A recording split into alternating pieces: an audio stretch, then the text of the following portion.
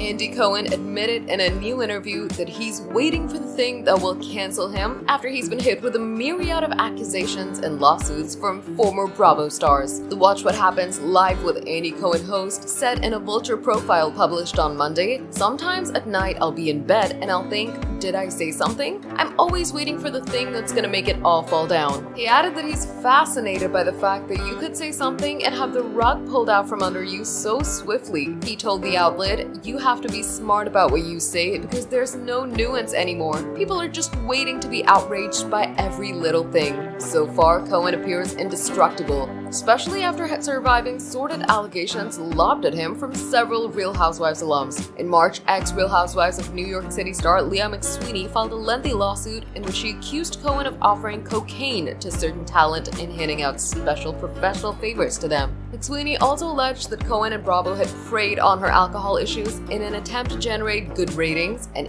even facilitated a work environment that turned a blind eye to sexually predatory behavior. Cohen had categorically denied the allegations, in February, Brandi Glanville accused Cohen of sexual harassment, claiming that he had invited her to watch him and Below Deck alum Kate Chastain have sex, which the former Real Housewives of Beverly Hills star called an extraordinary abuse of power. Cohen brushed this off via X, but publicly apologized for making an inappropriate joke during a 2022 phone exchange involving the trio. The Housewives honcho, who serves as an executive producer on every iteration of the franchise, was later cleared in an outside investigation action.